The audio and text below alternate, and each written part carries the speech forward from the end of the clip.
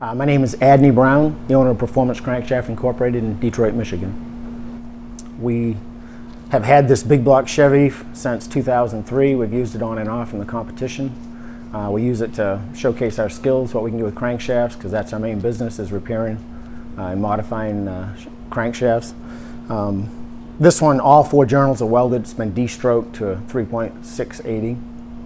Um, the motor, for what it is, it, it, it makes 650 horsepower about, and depending on what day you run it. But uh, um, it's been a good piece. Um, I think maybe we should retire it after this year, but um, I do have a lot of people to thank uh, that have you know helped us out uh, through the years. Barry Rabotnick and uh, Jim Sykes at Jim Kidd Motorsports and uh, Randy Malik, Mike Ridings, Ernie, Ernie's Auto Parts, uh, Dave Henniger, all people that have been involved with this engine since the start.